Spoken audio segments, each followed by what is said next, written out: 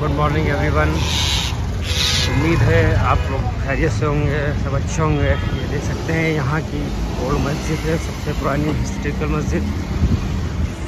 जिसे जामा मस्जिद के नाम से बोला जाता है। काफ़ी ही बड़ी मस्जिद है ये। ये देखिए, पूरी मार्केट है ये। यहाँ पर ये यहाँ की पार्किंग है।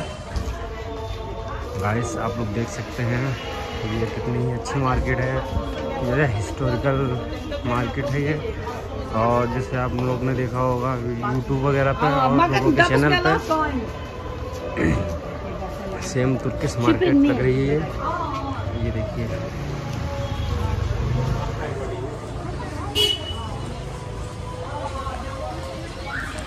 ये पुरानी बनी हुई है।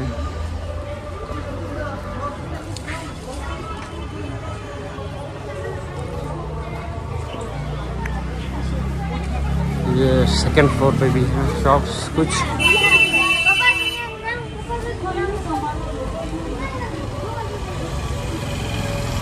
ये इसका एंट्री गेट है मेन हम लोग एंट्री लेने जा रहे हैं अंदर। देख सकते हैं आप कितनी पुरानी मस्जिद है। तेरह सौ चौरानबे की है। और इसमें आप सब पास सब कुछ पढ़ सकते हैं पूरी डिटेल लिखी मस्जिद की। मस्जिद कितनी ही शानदार मस्जिद है, बहुत ही प्यारी मस्जिद है। ये देखिए। और ये एक चीज़ आपको एक चीज़ दिखाता हूँ, खासियत, ये सब लकड़ी की है, ये सब चीड़ है। ये देखिए। बहुत ही खूबसूरत है नज़ारा। हमारे सभी साथी फ़ोटोग्राफी करवा रहे हैं, अभी हम भी करवाएँगे। इसकी हाइट देख सकते हैं, काफ़ी ऊँची है। सामने देख सकते हैं। और यहाँ का आसन है, यहाँ पर बैठा जाता है, आराम आराम कर सकते हैं लोग। ये देख सकते हैं, यहाँ का वज़ू खाना है, इसमें वज़ू करते हैं सभी साथी। और ये देखिए ये फ्रंट है और ये चारों साइड में नमाज़ पढ़ सकते हैं। ये लॉन टाइप का दे रखा है जो बाहर पढ़ना चाहे वो बाहर पढ़े। और काफ़ी ही खूबसूरत है जितनी तारीफ़ करे उतनी कम है। अभी मैं आपको अंदर ले चलता हूँ दिखाता हूँ चल के अंदर से। सेम है आगे पीछे का। चारों तरफ़ से मैं इसमें चारों तरफ़ एक ही जैसा दे रखा है बट ये इधर इमाम साहब खड़े होते हैं, यहाँ पे नमाज़ पढ़ाते हैं। फ्रंट ये है इसका।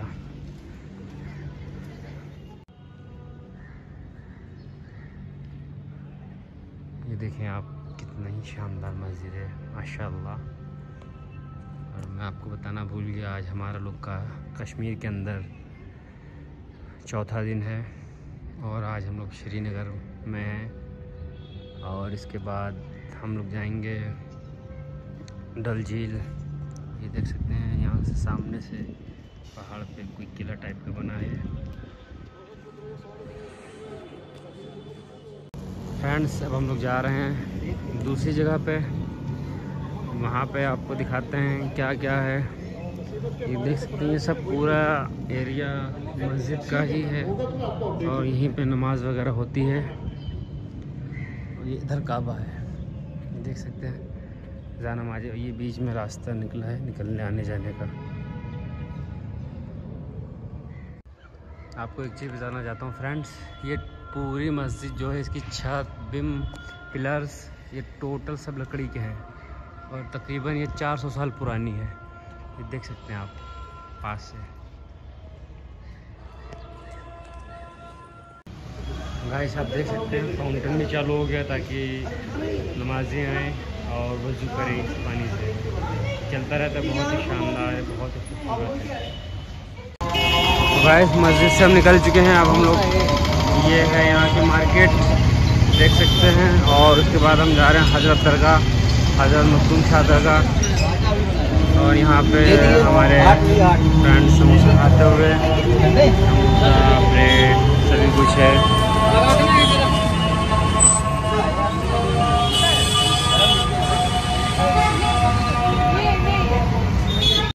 ये हम लोग दरगाह पे आ गए हैं। ये देख सकते हैं, बाप सुल्तान। ये गेट है यहाँ का। और सामने देख रहे हैं, दरगाह है। हज़रत मखदूम शाह की। और सामने देख सकते हैं इंडियन फ्लैग।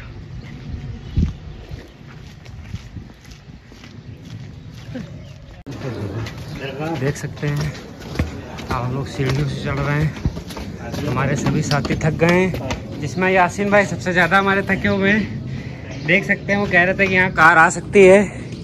पैदल क्यों लाए? यहीं पे मस्जिद है। इंशाल्लाह नमाज़ यहीं पढ़ेंगे हम लोग।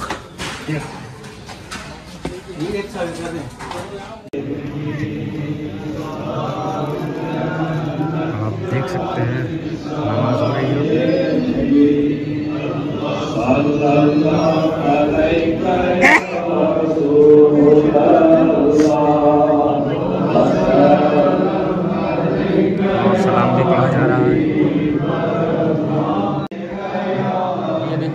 सामने देख रहे हैं, यहाँ पे लेडीजें नमाज़ पढ़ती हैं, और ये चंदा हो रहा है।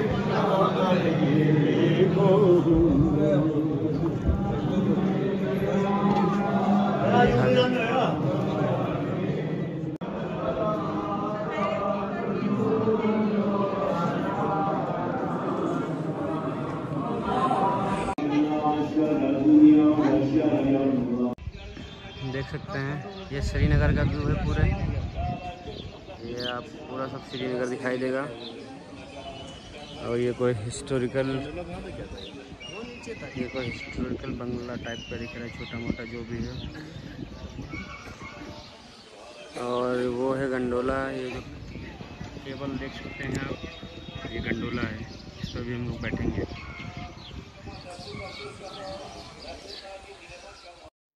देख सकते हैं हम लोग ने मखदूम साहिब रोपवे का टिकट ले लिया है और हम लोग जा रहे हैं। ये हैं आमिर भाई इमरान भाई आसू भाई। ये रोपवे का रास्ता है। ये देख सकते हैं।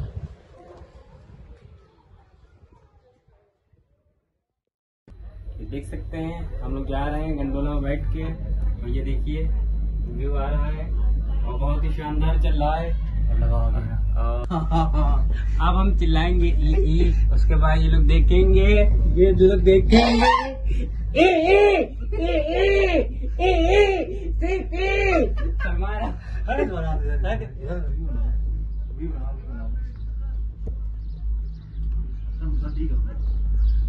ये देख सकते हैं आप कितना प्यारा सीन है। और हमारे इमरान भाई बता रहे थे ये कश्मीर का यानी कि श्रीनगर का सबसे बड़ा गुरुद्वारा है। यहाँ का ये देख सकते हैं मेरे मुँह के सामने। और ये है आपको पूरा व्यू दिख रहा है श्रीनगर का। ये पूरा श्रीनगर शहर है हमारा।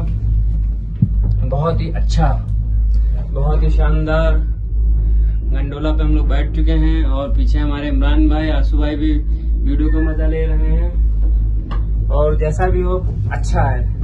क्योंकि हम लोग को वहाँ पे मिल नहीं पाया था मौका बैठने का। पीछे बनाओ पीछे। गुलमर्ग में बंद था तो हमने कहा इसी पे बैठ लें। यहीं के मज़ा ले लें। क्योंकि गंडोला की ख्वाहिश थी अपनी। गंडोला पे बैठ लिए। ये हमारे भाई हैं देखिए आमिर भाई। हमारे भाई हमारा भी लीजिए। जी बिल्कुल।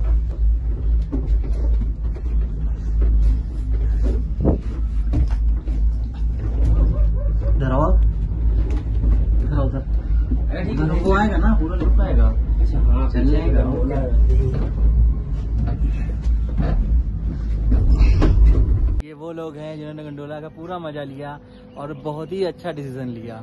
और जो मेरे साथी थे वो बहुत बुरा डी पड़ गए हैं। वो बहुत ही अफसोस में जो भी वो कहेंगे नहीं बट है अफसोस में बट उनके ही लिए वीडियो बन रही है दोबारा उनको दिखाई जाएगी वीडियो ये वन लाइफ कम दकस में